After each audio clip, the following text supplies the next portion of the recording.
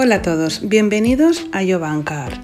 En este tutorial voy a enseñaros la mejor receta de porcelana casera, porcelana Yobi, una porcelana que yo he inventado y os voy a enseñar los trucos, técnicas, cómo trabajarla, un repaso rápido para los que todavía no la conocéis, para los que la conocéis poder trabajar mejor con ella.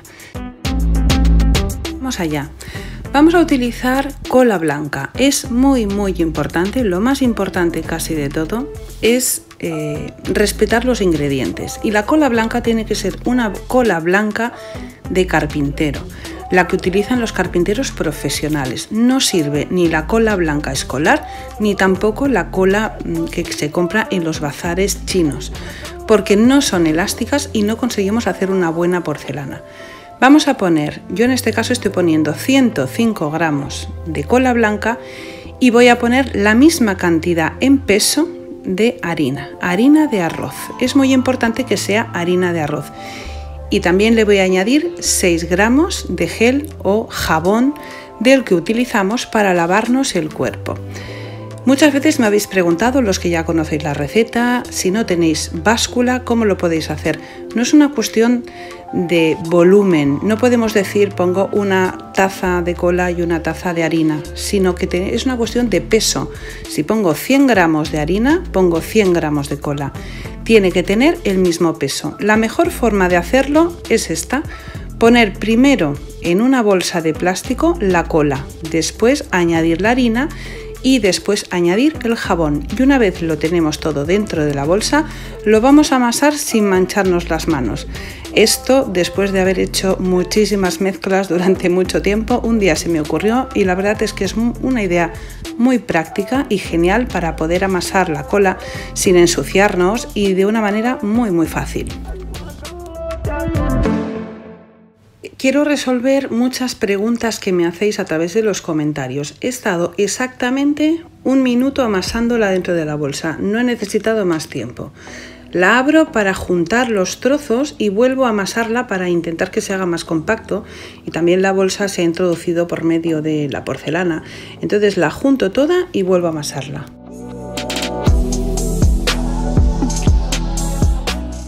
Esta vez he tardado solamente medio minuto en amasarla, o sea, es súper fácil de hacer y muy rápida. Y si la metemos en la bolsa, pues en un par de minutos la tenemos hecha. Más fácil, imposible. Una vez está bien amasada, la saco de la bolsa para acabar de amasarla en las manos.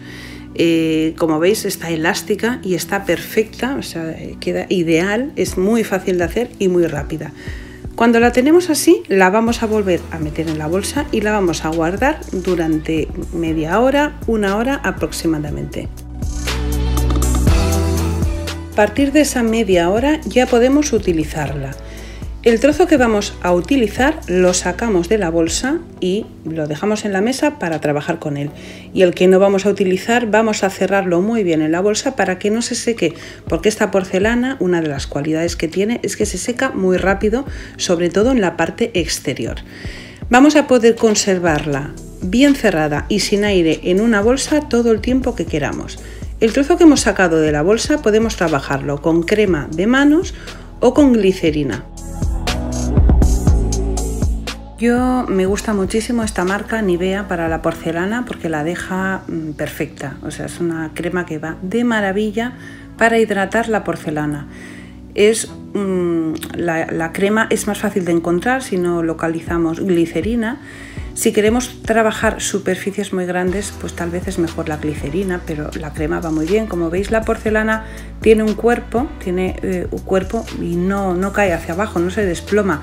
Si la hubiéramos hecho con harina de maíz, se desplomaría, porque es que la harina de maíz tiene esa cualidad. Es totalmente diferente a la harina de arroz. Podemos hacer figuras muy finas, muy pequeñas, grandes, podemos utilizarla como queramos. También podemos trabajarla con glicerina. La glicerina a mí me gusta para trabajar superficies más grandes y ayuda a que tal vez quede un poco más elástica, pero va a ir a gusto de cada uno de nosotros. Y si queremos un conservante extra, porque hay alguien que lo necesita, podemos ponerle un poco de vinagre blanco en la mezcla. ¿Dónde se compra la glicerina? Una pregunta que me hacéis muy a menudo. Se compra en las farmacias. Normalmente hay que encargarla y en 24-48 horas te la traen. Suele venir en envases de un litro y como dura mucho tiempo, pues vale más o menos unos 10 euros, alrededor de 10 euros y nos puede durar 2, 3, 4 años la botella porque tenemos que poner muy poca cantidad en la porcelana. Y también, como veis, podemos hacer exactamente lo mismo que hemos hecho antes con la crema.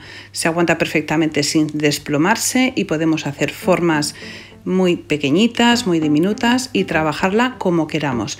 Y además también podemos utilizar los dos ingredientes. Si queremos podemos mezclar eh, un poco de crema hidratante, un poco de glicerina. Podemos hacerlo como nosotras nos sintamos más a gusto.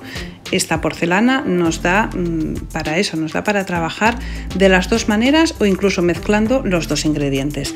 Y el resultado es perfecto. Esta pieza eh, es una pieza hecha toda con porcelana Yobi. Tengo un tutorial de cómo hacerla y también podemos hacer mm, piezas grandes como esa o podemos hacer pequeñas piezas como este unicornio, casitas, florecitas. Ahora os explicaré cómo teñir y cómo trabajar la porcelana con los colores. Amarillea un poquito como estáis viendo y escuchar.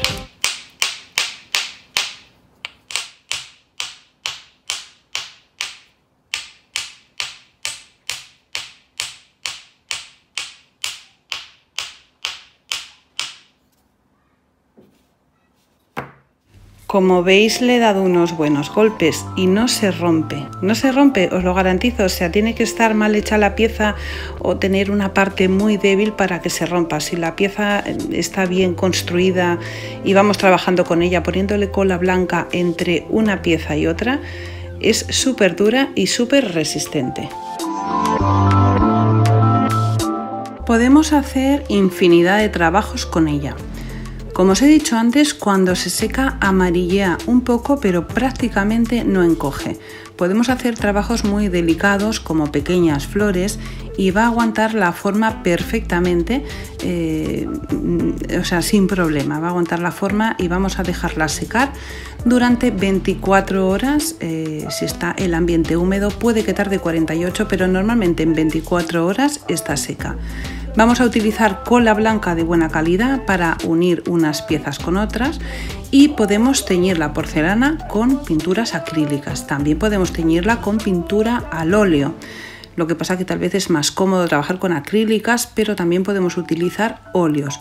Una vez está teñida, también podemos pintar sobre ella con lo que nosotros queramos, lo que mejor va, más cómodo y más rápido se seca, siempre es la pintura acrílica podemos marcarla, podemos utilizar marcadores de cualquier tipo porque aguanta perfectamente eh, la marca que le hagamos sin que se borre ni se desdibuje, porque las porcelanas hechas con harina de maíz normalmente se desdibuja un poquito la forma y con esta porcelana no pasa.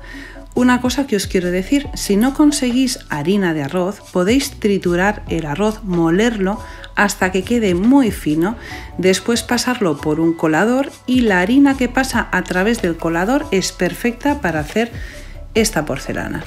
Como veis podemos conseguir eh, trozos muy finos y trabajar con ellos para hacer piezas súper exquisitas.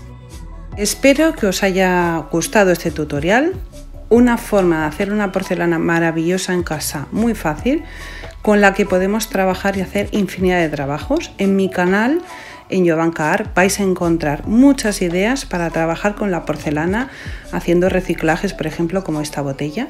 También podemos ponerle mixción, ponerle pan de oro, teñirla, mm, pintarla, podemos hacer un montón de cosas con ella. Es una receta que he inventado yo y que os he regalado a todos vosotros para que podáis disfrutarla. La verdad es que es genial. También podemos hacer pequeñas piezas de joyería, en fin, un montón de cosas.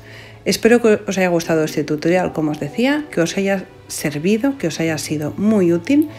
Y como siempre os digo, solo me queda deciros una cosa, un besito muy muy fuerte y hasta el próximo tutorial.